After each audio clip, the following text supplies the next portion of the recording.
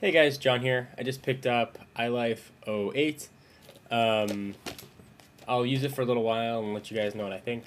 Um, let you know if it's if I think it's worthwhile or not, and then you guys can make whatever decisions you want. Um, inside the box, I'll kind of unbox it for you. Nothing really to show, but one thing to note um, that it does come with is a free 30-day trial of uh, the new iWork.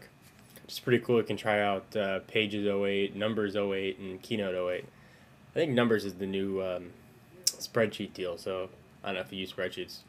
Might be worth checking out. Um, if you're curious at all. There's a box that comes in, designed by Apple in California.